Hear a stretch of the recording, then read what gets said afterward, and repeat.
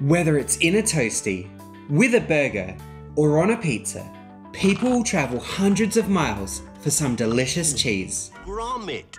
That's it. Cheese. We'll go somewhere where there's cheese. But you don't need to go to the moon to get cheese. You can make it at home from a glass of milk. But how does milk turn into cheese? Let's find out in this super cheesy episode of Silly Science with Simon. Are you ready? Then let's get science.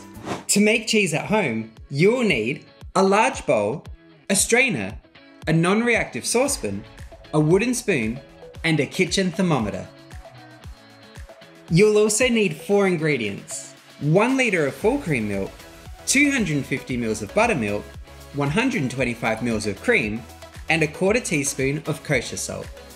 Once you have all these items and ingredients, ask an adult to help you in the kitchen with the following steps. Firstly, add the milk, buttermilk, cream, and kosher salt to the saucepan and give it all a good stir.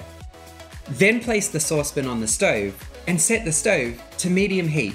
Hold the thermometer in the saucepan and stir the milk as it heats up. Once the milk reaches 40 degrees Celsius, stop stirring and continue heating the milk until it reaches 90 degrees Celsius, checking with the thermometer every minute.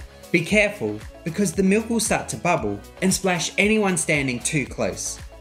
Once the milk reaches 90 degrees Celsius, turn off the heat and allow it to stand for one hour. After an hour, scoop the cheese out of the saucepan and into a sieve over a large bowl. Then pour any remaining cheese and liquid into the sieve and let it sit for 20 minutes. And that's it! You've just made cheese! This cheese will last about 3 days in a clean, airtight container in the fridge. You've also made whey. That's the liquid left over in the large bowl, and you can use it in other recipes. I like to use it to make a loaf of bread, following the recipe in my Science of Bread video, but replacing the water with whey. So now I can enjoy a nice crusty loaf of bread with cheese and a drizzle of honey.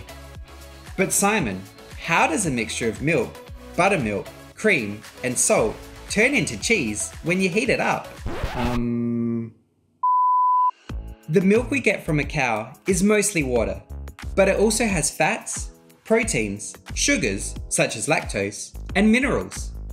Let's take a closer look at the main protein in milk, known as casein. Casein doesn't like to mix with water. Instead, it forms spherical structures known as micelles.